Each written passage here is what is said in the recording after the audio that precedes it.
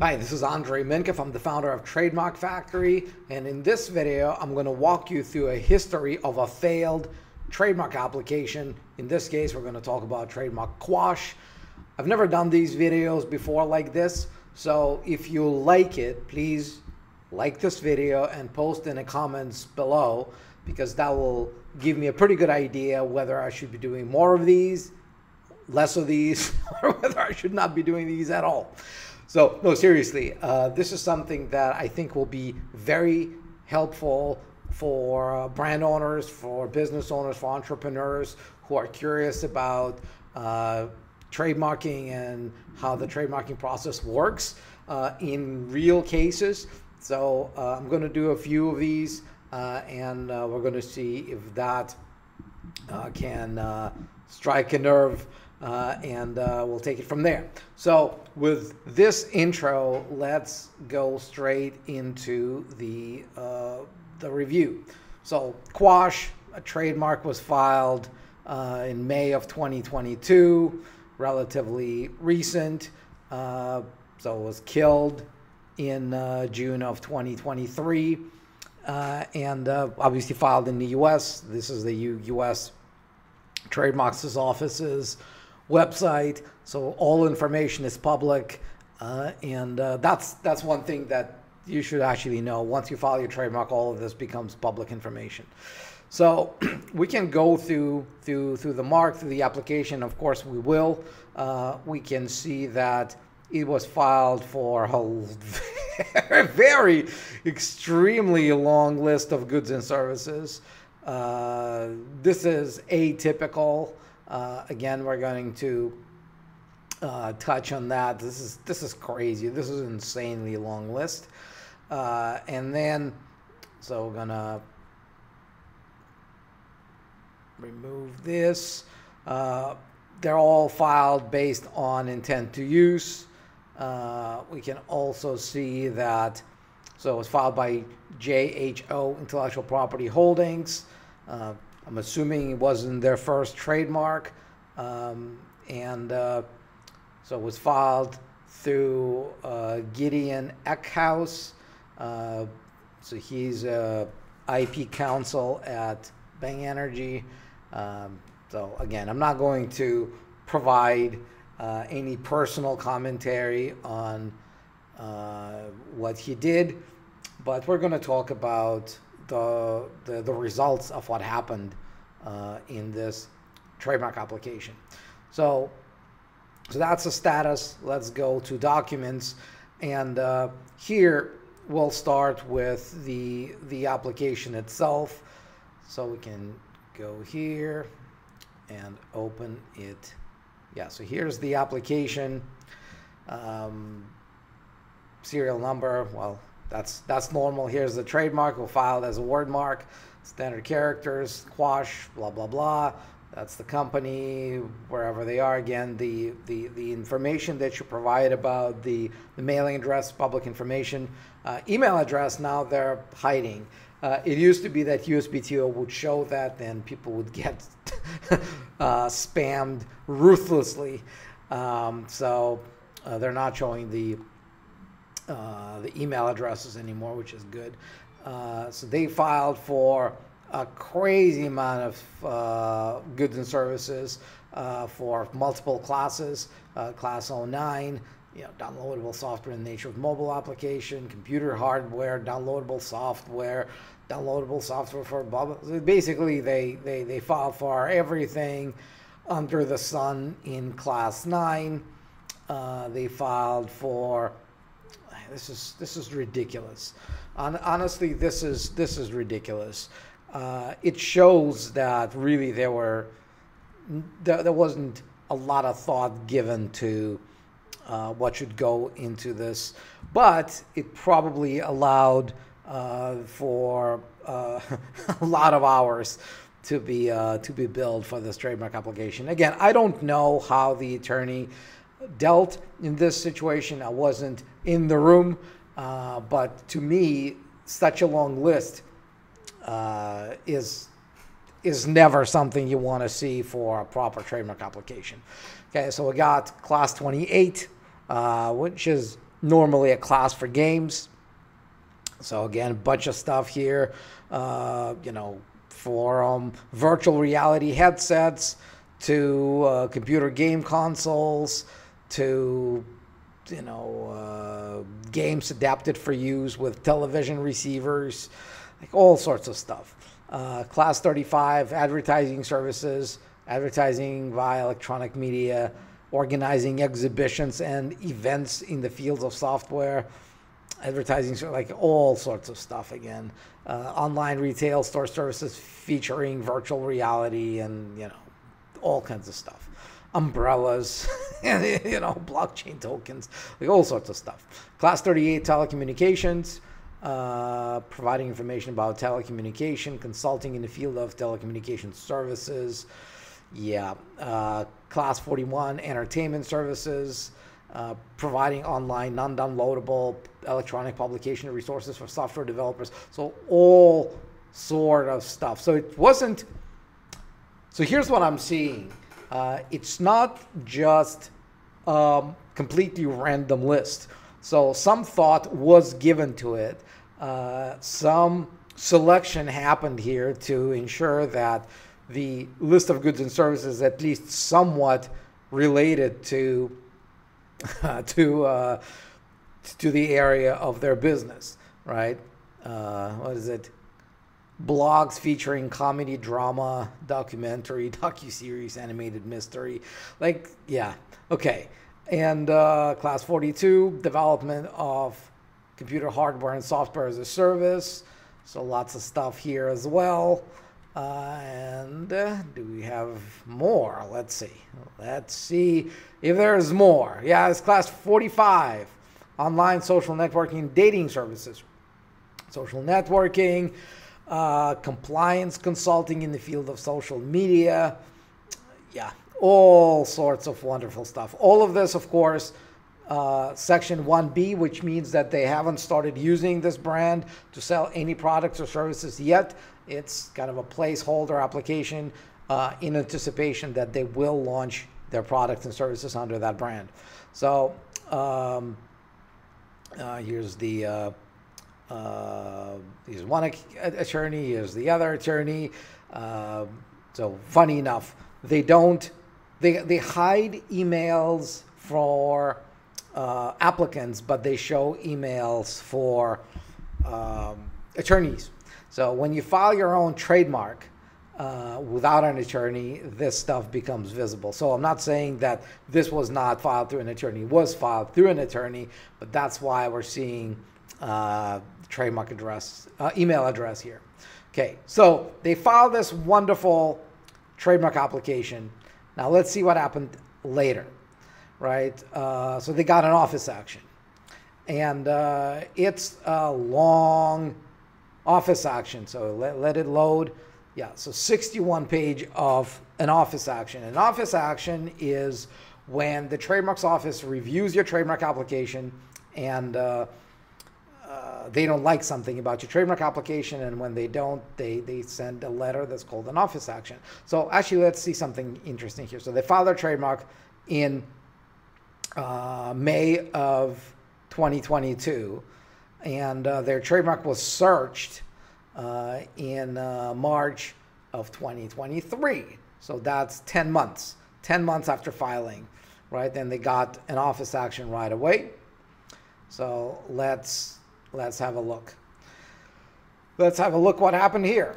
So they got an office action. Well, uh, they got three months to respond. So it used to be six months, uh, and then in uh, 2023, USPTO changed their rules. So now you only have three months to respond.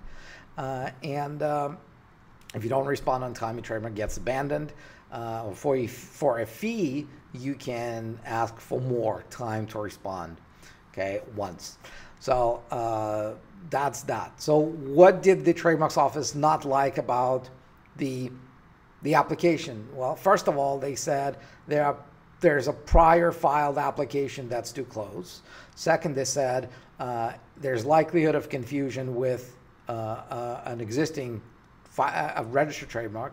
And uh, lastly, they didn't like that long list of goods and services. So Oh, actually, let me let me let me take take you one step back because I think that's important here. Uh, so going back to application, so at the very bottom, uh, at the very bottom of this, yeah, here's the important thing that I skipped and I shouldn't have. So the government fees, right? So the the, the applicants file their trademark in seven classes. Each class is three three hundred fifty dollars. So just in government fees alone, they pay two thousand four hundred fifty bucks, right? I'm not even counting how much they paid to attorneys to put this application together. Just the government fees alone, twenty five hundred bucks out the window. Okay, so that's an important thing to, to keep in mind, right? There's always a government fee. The more classes you file in, the higher the government fee. All right, so uh, let's go back to the to the office action to let it load again. Uh, there we go. All right, so there's a prior filed application uh, with this serial number. We can, okay, I can do a quick little search. Just open this application in a second.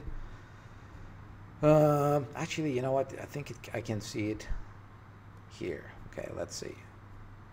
Yeah, that's the one, right? So there's uh, there's another trademark application called Quash, the identical trademark application, and they filed it for Class 38 streaming uh, of live head-to-head debate uh, Class 41 for providing a website that displays rankings of debate battle participants. Uh, and um, yeah, sorry, that's that's that's a different one. So let's see. But it's still another one, right? So it's another trademark class 42, providing website hosting platform for live streaming. So there's there are overlaps there, right? So they're showing that this is one trademark that was filed.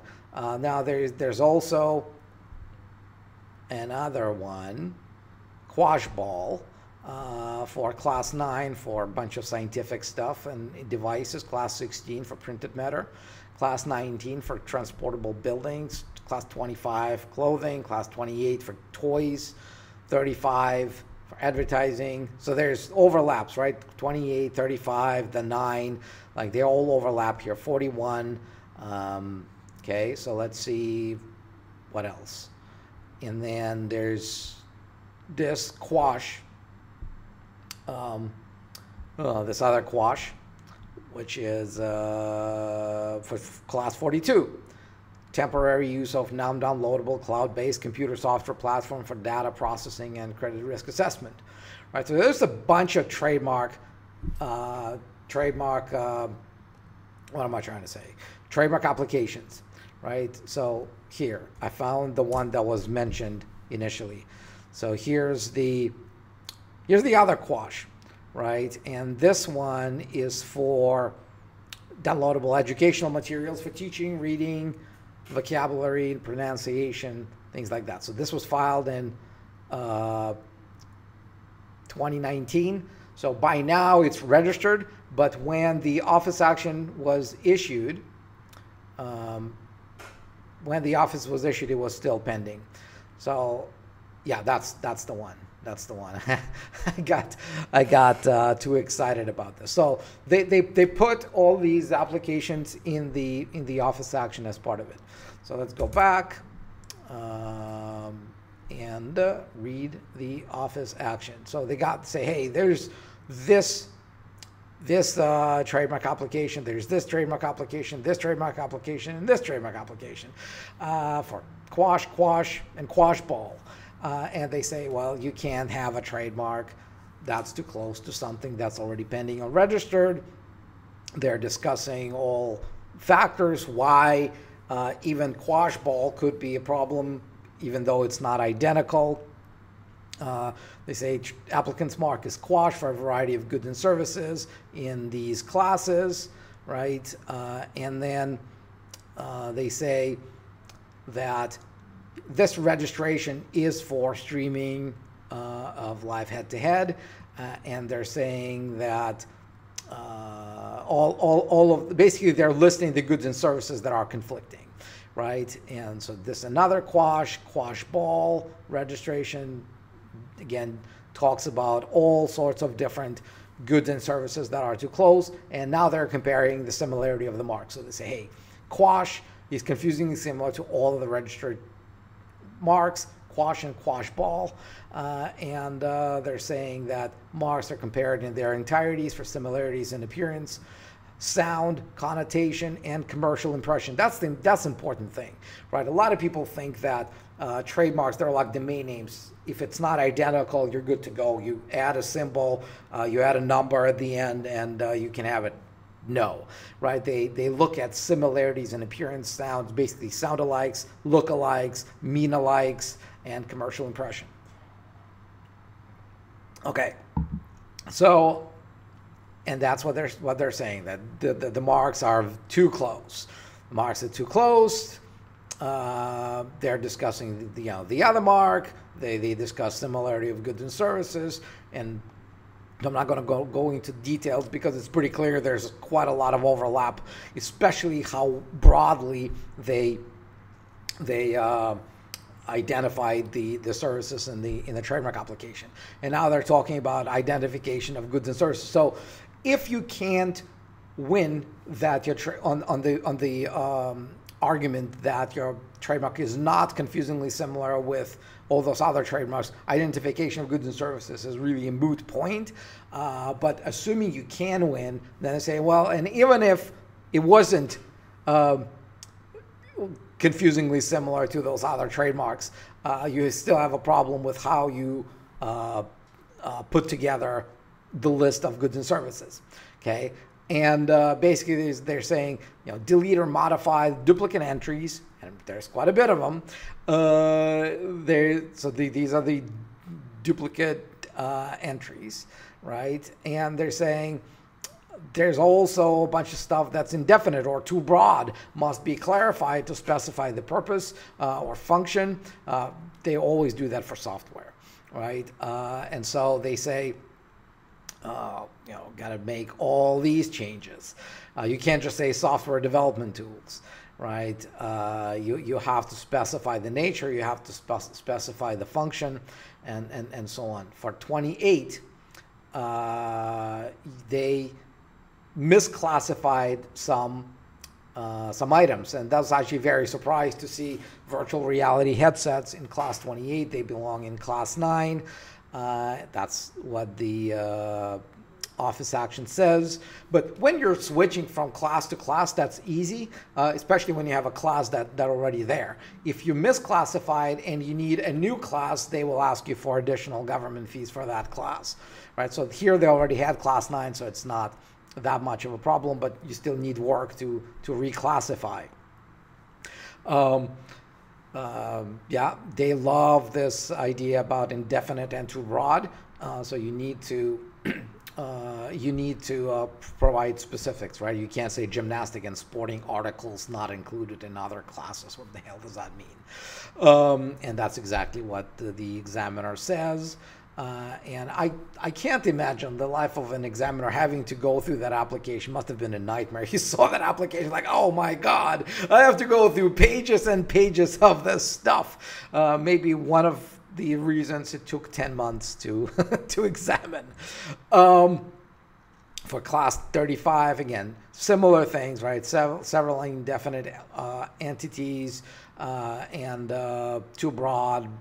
So Class 38, same problem. Class 41, same problem. Class 42, same problem. Class 45, same problem.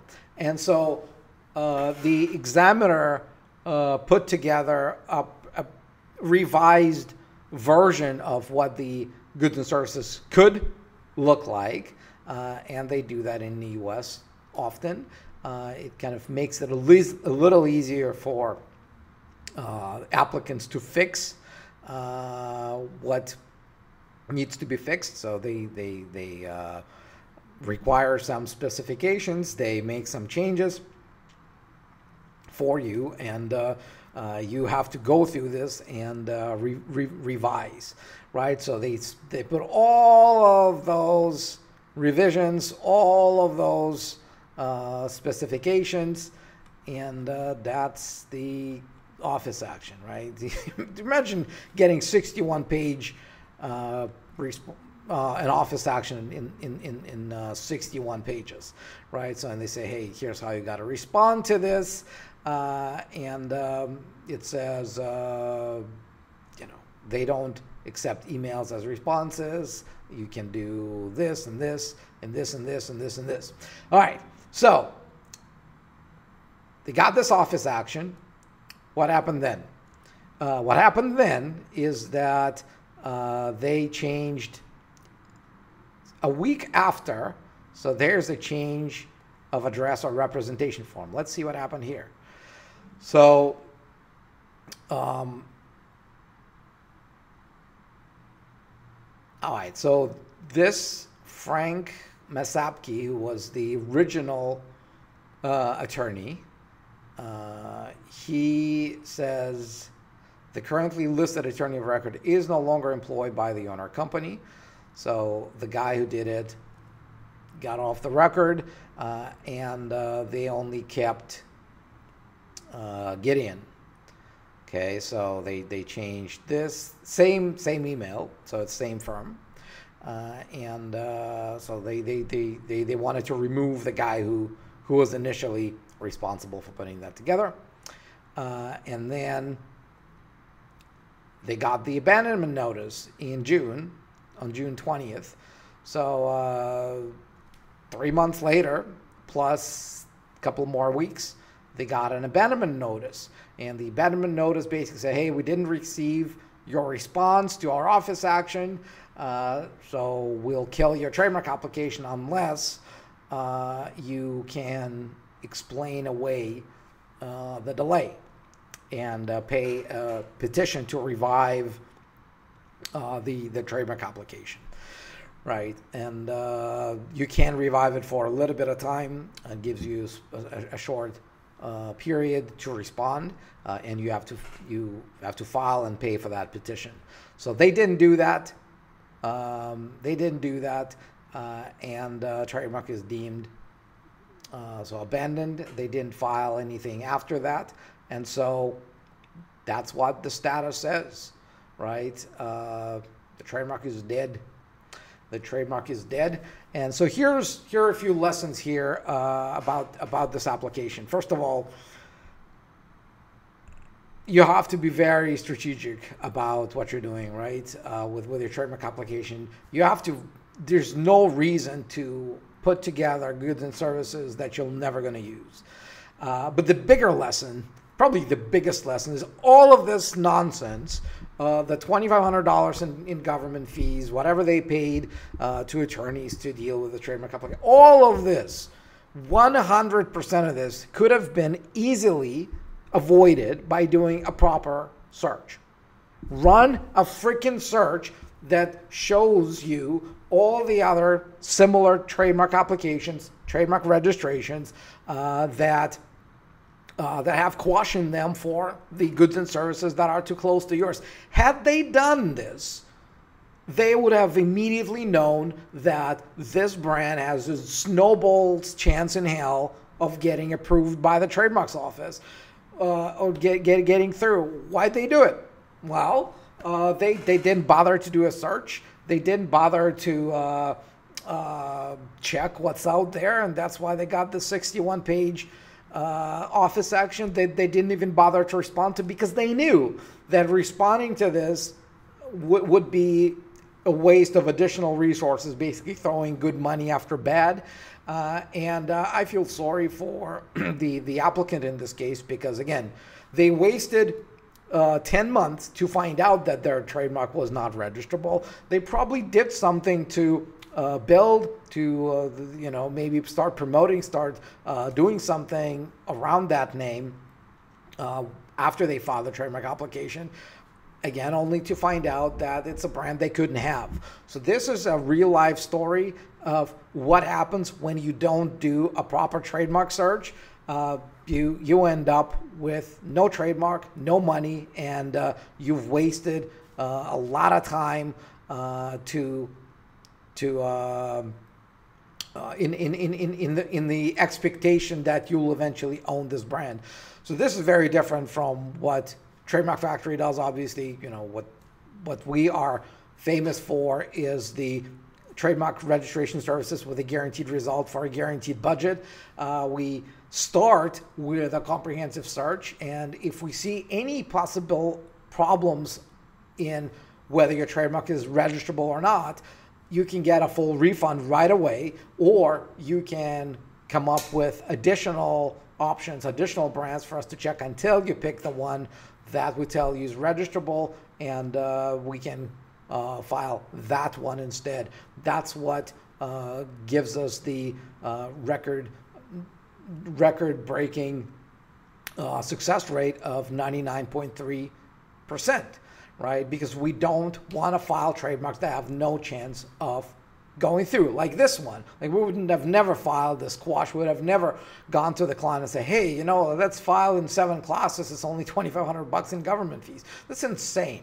So all of this would have been avoided with just one simple thing. Do a proper comprehensive trademark search, see what's out there. Don't file for trademarks that you can't have. Well, a secondary lesson is um, be more intentional with your uh, list of goods and services because if you are narrow, uh, you can get away with uh, some coexistence with more or less similar brands, maybe. Uh, but and also don't just throw the kitchen sink in that trademark application because uh, you're not gonna get a you're not gonna get uh, yourself. You're not going to make yourself any friends at the trademarks office when you make them work so hard. Especially when they know that there's no genuine intention of selling all these products and services under that brand. Uh, it's pretty clear that this was just a big collection of stuff.